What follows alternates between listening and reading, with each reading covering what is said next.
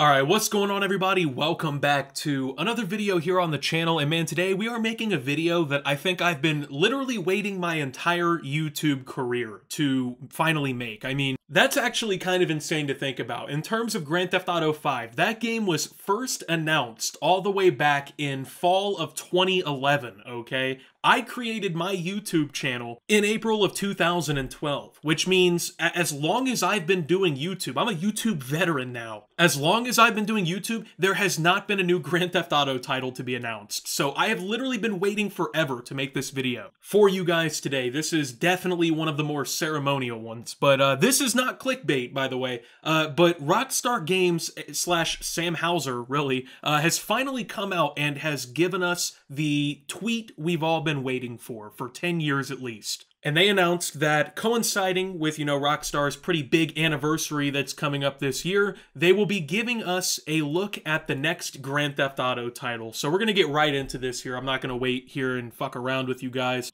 Next year marks the 25th anniversary of Rockstar Games. Thanks to the incredible support of our players worldwide, we've had the opportunity to create games we are truly passionate about. Without you, none of this would be possible, and we are so grateful to all of you for sharing this journey with us. In 1998, Rockstar Games was founded on the idea that video games could come to be as essential to culture as any other form of entertainment, and we hope that we have created games you love in our efforts to be a part of that evolution. We are very excited to let you know that in early December, we will release the first trailer for the next Grand Theft Auto. Man, reading it again, it just doesn't seem real. We look forward to many more years of sharing these experiences with all of you.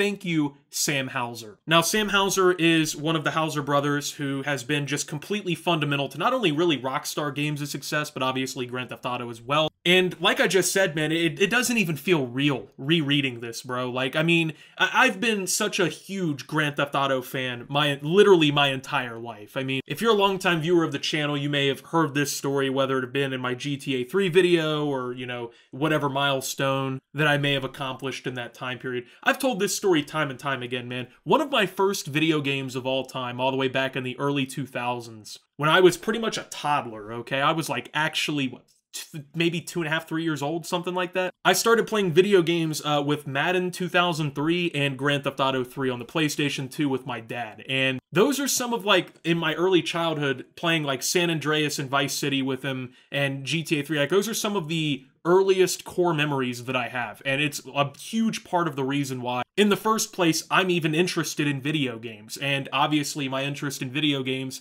to a large extent is why I have this YouTube channel. So Grand Theft Auto in a way has literally shaped the outcome of my life by being a fan of it and by, you know, experimenting with other games and just really getting into the entire hobby as a kid in a large part due to Grand Theft Auto. And I mean, as a kid, I didn't even like go around doing crazy things in the game, right? Like I would just try to do like the little taxi missions and drive around. And my dad would troll me, right? He would like take the car and he'd like run somebody over or something and get me wanted. And like the police would kind of shit would piss me off, man. I would start freaking out, you know? But anyway, like, I mean, those memories have been so huge for me. And it's kind of crazy to think, right? There are kids alive right now. There might even be kids watching this video that they were conceived, born, learned how to talk, started playing video games, and beat Grand Theft Auto 5 before they even showed us a trailer to the next Grand Theft Auto. That's how long it's actually been, man. I mean, it's just been such a long time coming, finally getting this announcement, bro. It's almost bittersweet in a way, right? Because like I said, I've been waiting to make this video for so long. I've thought about this particular video probably at least once every year for the last like six to seven years. I mean, just that that's how long the gaming community really has been waiting for this announcement, right? Because I mean, it, it became a pretty popular meme, right? Like it's gotten to the point with all the like hype and the constant, you know, controversy about, oh, when are they finally going to announce it? And all the conspiracy theories online. I mean, everybody's just been waiting on this for so long. And that's because, let's be real here, Grand Theft Auto is such a fundamental and massive piece of the gaming industry. I mean, not even just because it's Grand Theft Auto, but because of how much it's also, to an extent, helped shape the future of all these other properties that Rockstar has. I mean, let's be real, the Red Dead series, in its state that it's in, never would have been possible if Grand Theft Auto 3 did not step forward and reshape the entire idea around open world RPG games. The way that Rockstar perfected their style of games and to a certain extent influenced the entirety of the whole gaming industry from games like GTA 3, Vice City, San Andreas, GTA 4, right? Like every single time one of these games drops, that it's like a monumental moment in gaming history. And have having had that happen my whole life, like having had these experiences, it's really awesome to see because this is the first time like Grand Theft Auto is going to be coming out when I'm an adult, dude. Like Grand Theft Auto 3 came out I was in junior high school, bro. Like I was in middle school essentially, bro. Like I still had gym class and fucking recess and I had, you know, lunch and math class and science tests, bro. That's when this fucking game came out, man. And I'm a full-grown man now paying taxes hating the federal government, right? Like just, you know, being an adult. And it's kind of just nuts now that we're finally getting a new one. And of course, now that this is all out the bag, we already knew it was coming, but now that we know the trailer is on its way within a couple of weeks, uh, let's be real here, right? What should we expect? That's kind of what I've been thinking about all morning as I keep kind of thinking about the announcement, right? Like what what can we really expect with GTA 6? Cuz I feel like truthfully, like I'm not trying to meet ride Rockstar or anything here, but they have a pretty good reputation of like when they put out a new fucking title in whatever series they're working on, man, it is a improvement. Like it, there is a lot of improvement. It, they've in my opinion not really failed in a lot of ways when it comes to that. I mean, I don't really count the GTA Definitive Edition as being like a new Grand Theft Auto title, since they essentially just ported fucking mobile games or whatever from 20 years ago. That's not really a new title to me, but I mean, you think of like a Red Dead Redemption 2 or a Grand Theft Auto 5, or as many people won't give the game as much credit as it deserved, Bully. I fucking love that game. We need Bully too. But that's the thing, like Rockstar, they always somehow manage to exceed my expectations, even though they've always had these like massive, colossal expectations to begin with. They they're just so good at what they do, man. And obviously, uh, technology is quite different than it was when GTA 5 was being worked on and came out. I mean, you got to think that game originally released on the Xbox Xbox 360 and the PS3, and we're like halfway through the life cycles of the PS5 and whatnot, right? Like right now. So, I mean, it's kind of crazy how far you know, technology in general has improved. I mean, even on the PC end of things, right? Graphics cards and CPUs are exponentially better now than they were back then. You, you look at a game like Red Dead Redemption 2, and that came out in 2018. How actually incredible that game looked. And even today, it still holds up so good, right? How good is GTA 6 really going to look? What what kind of missions are we going to be taking a look at, right? We already saw some of the leaks, obviously. There was some gameplay video uh, footage leaked and whatnot in that entire thing too, but I mean, that is a game that's in early development. And sure, I'm certain that some of the things that we saw in the footage and that we found out in the leaks will probably also make it to the final product too, but also there's been years upon years of progress by this company Uh, in terms of what they're doing with the project. I have to assume that what we've already seen is not necessarily how the game is going to look or play. And even if it did, I mean, I didn't think it looked horrible. It definitely needed polished and whatnot, but I mean, hey, it was definitely functional. And that's the thing too, right? And that's what obviously, like, I hate to even maybe jinx this or even put this out there, right? But like, this isn't gonna be a miss, hopefully, right? And I, like I said, I don't want to jinx it. I don't want to, you know, be negative for no reason, but it just, it, it seems like one of those things, man, where the expectations, are they actually achievable or surpassable? Because, I mean, let's be real, Grand Theft Auto 6 at this point is probably the most anticipated video game release of all time. Grand Theft Auto 5 is the most, you know, highest grossing, highest revenue earning